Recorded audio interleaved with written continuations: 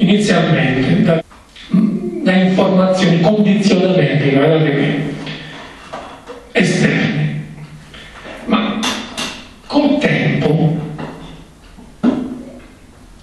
finiscono per generare dentro la persona una sorta di una specie di giudice interiore che ci giudica da dentro. Quello che, che Freud chiamava il superio, il superego.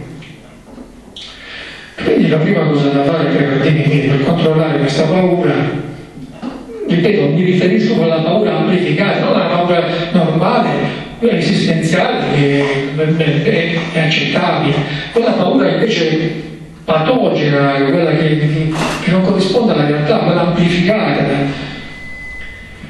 La prima cosa che è da fare è quindi ridurre, o almeno dare meno spazio, meno importanza alle informazioni esterne. Questo possiamo già farlo. Se, se diciamo all'origine sono informazioni esterne che poi vanno secondariamente a formare questo giudice interiore, meno, non dico completamente, ma meno spazio, meno importanza alle informazioni che ci arrivano, giudizi che ci arrivano dall'esterno, per non alimentare questo nostro giudice interiore, per non farlo L'altra cosa, quando ormai questo si è ormai formato, si è ormai radicato dentro, nella persona, è affrontarlo, portarlo a coscienza questo giudice interiore e non far finta che non c'è, no, non fingirlo. Quindi il primo passo per difendersi dal superio, come lo chiamava Freud, e quindi dalla paura che deriva dal giudizio del nostro giudice interiore e portarlo a coscienza e riconoscere quando ogni tanto si è sotto attacco, perché ogni tanto questo da dentro attacca. E questo è forse la parte più difficile, perché è difficile a causa dell'identificazione che ci porta automaticamente a sentire che questi giudizi, queste valutazioni, le pressioni che sentiamo internamente, quindi gli effetti che producono tensione, colpa, indecisione, ma senso di mancanza di valore, no?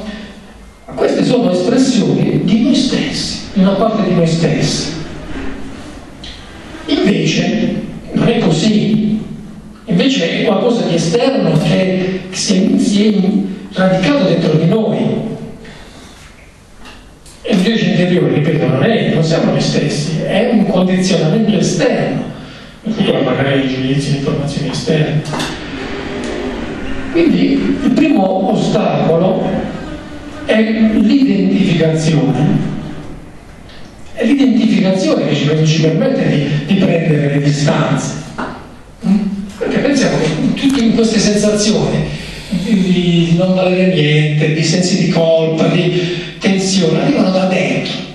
Siamo noi stessi, invece non è così, è questo giudice interiore. Quindi ecco come la prima cosa è riconoscere, prendere coscienza, portarlo a coscienza. E queste, queste sensazioni sono effetto automatico e inconscio dell'attività del superiore. Senso di colpa, vergogna, sentirsi sotto pressione, sminuiti, incapaci, contrazione energetica, proprio senso di non avere propria energia, tensione, rabbia improvvisa, confusione, naturalmente paura, ansia. Sono solo alcuni dei sintomi possibili che possono emergere, generare da questo superio che, abbiamo, che si è formato dentro. Per più chiarezza abbiamo con questi sintomi, maggiore sarà la velocità con cui riconosceremo l'attacco del superio, del questo superego e lo possiamo, mm, ci possiamo difendere, possiamo distaccarlo dal, da, da noi attraverso un processo di disidentificazione mentre, mentre ci identifichiamo, ci dobbiamo disidentificare, capire che non siamo noi, non è vero che è qualcosa di esterno a noi che ci fa sentire questo. Attraverso, eh, la, cioè dire, guardandoci dentro, ascoltando, anche attraverso la valutazione organismica, cioè sentendoci proprio quindi Sì, sì, anche quelle- sentire l'altro, vuol dire sentire proprio fisicamente, quindi eh, col cont- contatto col proprio corpo